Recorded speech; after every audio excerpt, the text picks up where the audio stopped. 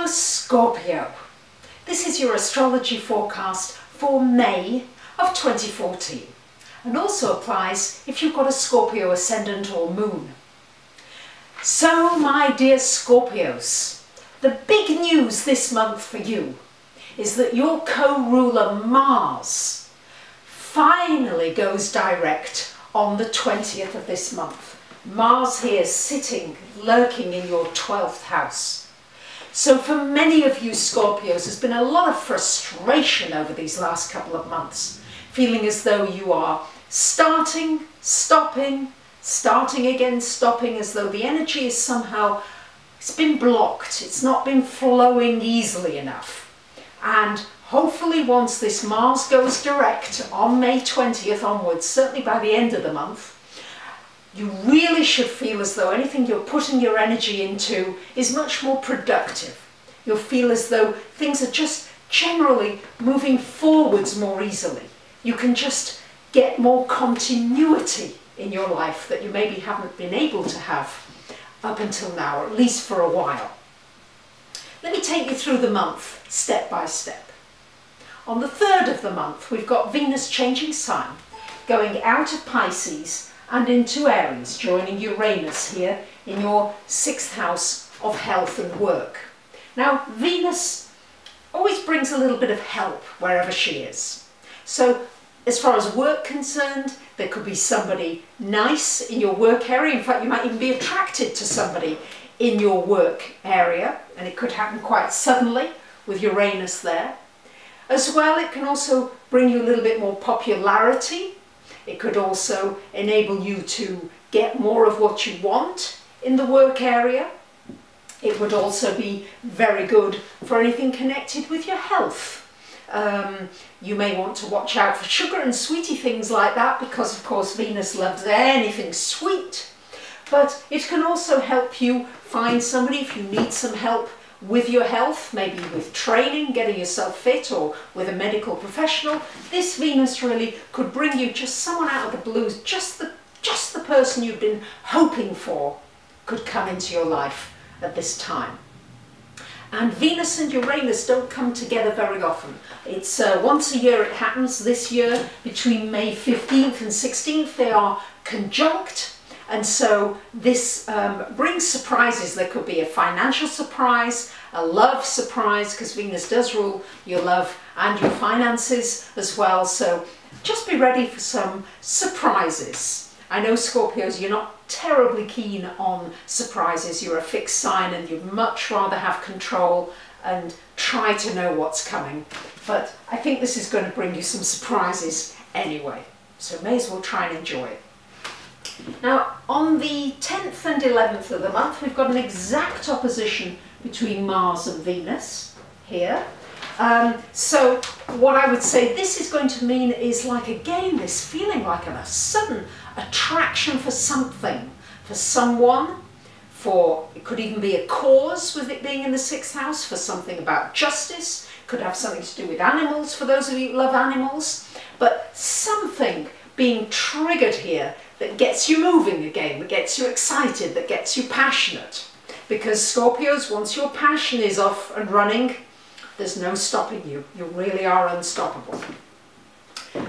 The big news for you Scorpios this month is that we've got a full moon in your sign Scorpio on the 14th of the month.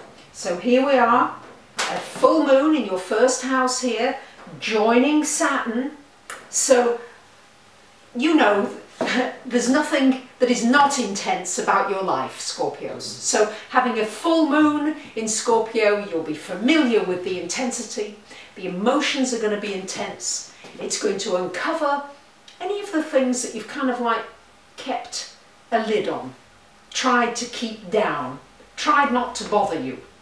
Well, they're going to be up for healing in some way, the important things. So allow things to come up. Remember that this is for your healing, this is for your better good.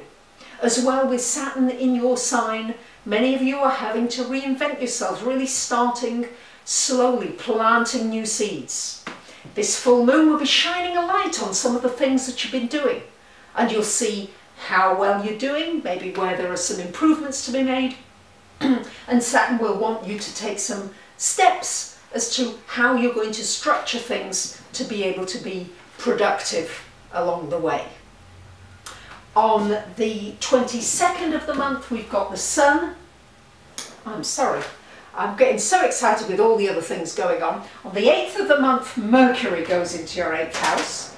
And on the 22nd of the month, the Sun joins your, your 8th house. This is the 8th house of money for you Scorpios, your security, your safety. Shining a light on particularly your finances, your assets, where you've got your money, your banking, your mortgage, your insurance, your tax, anything to do with the management of your finances. Um, you're getting some help there. There may even be some help from somebody else. There could be a grant, especially if you apply for funding or help. You may well get it during this time because these planets are really helping you towards that.